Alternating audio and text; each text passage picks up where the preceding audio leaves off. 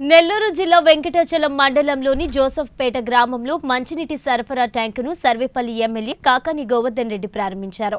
ఈ సందర్భంగా సర్వేపల్లి ఎమ్మెల్యే కాకాని గోవర్ధన్ రెడ్డి మాట్లాడుతూ తమ ప్రభుత్వం సర్వేపల్లి నియోజకవర్గంలో అన్ని మౌలిక సదుపాయాలు కల్పించే దిశగా పనిచేస్తుందన్నారు.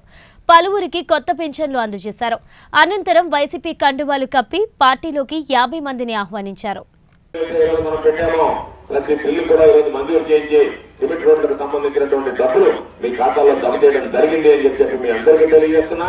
డ్రైన్లకు సంబంధించి కూడా ఒక వారం రోజుల లోపలనే ఎంతమంది అయితే ఈ రోజు డ్రైన్ వేశారో ఆ బిల్లులు కూడా పూర్తి చేయించి ఎక్కడ బిల్లులు పెండింగ్ పడకుండా పనులు ఇవ్వడం ప్రారంభించడం బిల్లులు చెల్లించడం ఎక్కడ ఎటువంటి ఇబ్బంది లేకుండా కూడా అన్ని రకాలైనటువంటి కార్యక్రమాలు ఒక్కొక్కటిగా ఒక్కొక్కటిగా నెరవేర్చడం జరుగుతుంది అని చెప్పి చెప్పి మీ అందరికీ సందర్భంగా మనవి చేస్తున్నాం అదేవిధంగా ప్రత్యేకించి ఒక్క విషయం మీ అందరికి చెప్పాల్సినటువంటి అవసరం ఉంది.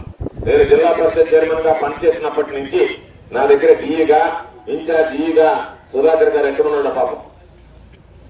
సుధాకర్ గారు పనిచేశాడు.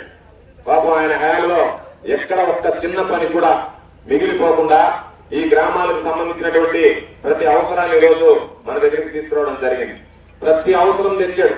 ప్రతి ఒక్కరికి అండగా నిలబడ్డాడు. ఎక్కడ ఏ సమస్య వచ్చినా సరే రాజకీయాలకు అతీతంగా పనిచేసినటువంటి సమర్థవంతమైనటువంటి అధికారి.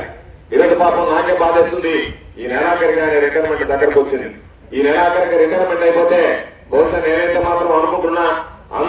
సమర్థవంతమైనటువంటి అధికారిని మరలా సర్వేపల్లి నియోజకవర్గం తిరిగి చూడలేదేమో అనేటువంటి భావన నాలో ఉంది.